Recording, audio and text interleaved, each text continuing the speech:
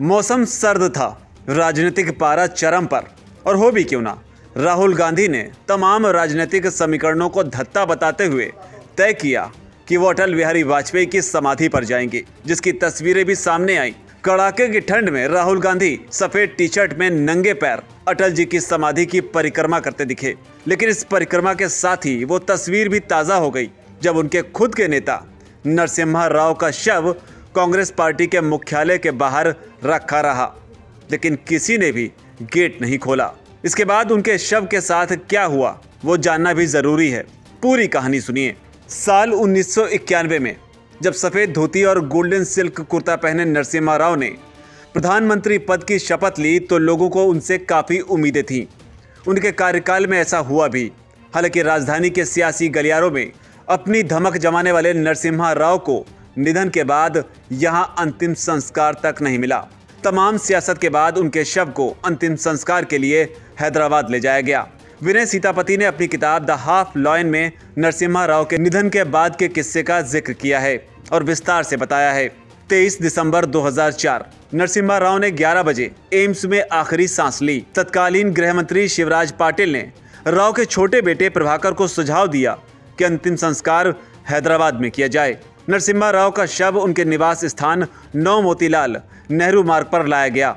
यहाँ कांग्रेस के दिग्गज नेता गुलाम नबी आज़ाद ने भी परिवार से शव को हैदराबाद ले जाने के लिए कहा। थोड़ी देर बाद कांग्रेस के दिग्गज नेता और आंध्र प्रदेश के तत्कालीन मुख्यमंत्री राजशेखर रेड्डी पहुँचते हैं और राव के परिवार को ये विश्वास दिलाने लग जाते हैं कि उनका अंतिम संस्कार जन्मभूमि में पूरे सम्मान के साथ किया जाएगा। कहा गया कि कांग्रेस का आला कमान नहीं चाहता था कि राव का अंतिम संस्कार दिल्ली में हो।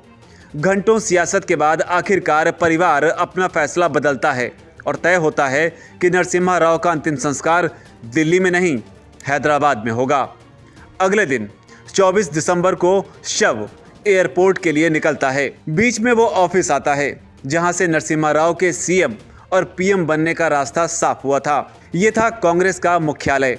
अमूमन पार्टी के किसी बड़े नेता के निधन के बाद उसके शव को कुछ समय पार्टी ऑफ़िस में रखने की प्रथा थी ताकि कार्यकर्ता श्रद्धांजलि अर्पित कर सके, लेकिन राव के साथ ऐसा नहीं था। अपने अंतिम दिनों में वो कांग्रेस से थोड़ा नाराज़ भी थे। एयरपोर्ट के रास्ते राव का शव लेकर परिजन जब कांग्रेस मुख्यालय के बाहर पहुँचे तो गेट ही नहीं खुला। विनय सीतापति लिखते हैं कि राव का शव करीब आधे घंटे तक कांग्रेस पार्टी के दफ्तर के बाहर एयरपोर्ट की गाड़ी में रखा रहा। परिजन अंदर जाने का इंतज़ार करते रहे। जब गेट नहीं खुला तो थक हार कर एयरपोर्ट की तरफ़ रवाना हो गए। हालाँकि उस वक्त सोनिया गांधी भी पार्टी दफ्तर के अंदर ही मौजूद थीं। उधर वरिष्ठ पत्रकार संजय बारू अपनी किताब 1991 how PV Narasimha Rao made history में लिखते हैं कि नरसिम्हा राव इस देश के पहले एक्सीडेंटल प्राइम मिनिस्टर थे। बारू लिखते हैं कि साल 1947 के बाद अगर भारत के इतिहास में कोई साल महत्वपूर्ण है तो वो साल यही था, जब नरसिम्हा राव देश के प्रधानमंत्री बने थे। संजय बारू ने एक इंटरव्यू में अपनी किताब के बारे में बताया था कि राव ने इसी साल अपना नाम इतिहास के पन्नों में दर्ज कर लिया था, क्योंकि भारत में कई फैसले होने बाकी थे और उन्हें राव ने पूरा कर अपनी अलग जगह बनाई। लेकिन इस बीच ही वो कांग्रेस से दूर भी होते चले गए। साल 1986 में देश के प्रधानमंत्री की कुर्सी पर राजीव गांधी थे और वो हर बड़े फैसले पार्टी नेताओं की मर्ज़ी से ही लेना पसंद करते थे। यही वजह थी कि जब उन्होंने कंप्यूटर को भारत में लाने का फैसला किया तो उन्होंने अपने मित्र से सबसे पहले कहा कि, पता नहीं, कांग्रेस के पुराने सदस्य मेरी बात को कैसे लेंगे? इस बात का ज़िक्र बीबीसी की एक रिपोर्ट में भी किया गया है। उस दौरान देश के रक्षा मंत्री नरसिम्हा राव थे। नरसिम्हा राव के बेटे प्रभाकर भी उस दौरान कंप्यूटर से जुड़ा सामान बनाने की कंपनी स्थापित करने का फैसला कर चुके थे। नरसिम्हा राव ने अपने बेटे से फ़ोन पर बात की और अपने बेटे से कंप्यूटर का सैंपल दिल्ली मंगा लिया। सैंपल दिल्ली आया और एक व्यक्ति को उन्हें कंप्यूटर सिखाने की ज़िम्मेदारी दी गई। नरसिम्हा राव शुरू से ही टेक्नोलॉजी में रुचि रखते थे। और उन्होंने इसे सीखने के लिए पूरी मेहनत भी की। करीब छः महीने तक रात दिन वो इसमें जुटे रहे और आखिरकार कंप्यूटर सीख कर ही दम लिया। उन्होंने न सिर्फ़ कंप्यूटर चलाना सीखा, बल्कि कोडिंग तक भी सीख डाली। बाद में फिर राजीव गांधी और नरसिम्हा राव के कारण ही भारत में कंप्यूटर आयात का रास्ता साफ़ हो सका। अब आप सोच रहे होंगे कि कंप्यूटर की कहानी क्यों?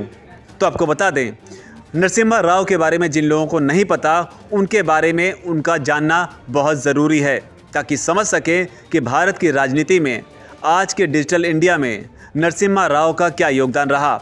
और ऐसे वक्त में, कांग्रेस पार्टी, यानी कि जब राहुल गांधी, अटल बिहारी वाजपेयी की समाधि स्थल पर उसकी परिक्रमा करते हैं तो यहाँ जानना ज़रूरी हो जाता है कि नरसिम्हा राव के साथ कांग्रेस पार्टी का व्यवहार कैसा रहा, कि किस तरीके से जब शव नरसिम्हा राव का शव कांग्रेस पार्टी के मुख्यालय के बाहर रखा रहा तो दरबार का दरवाज़ा भी नहीं खुला।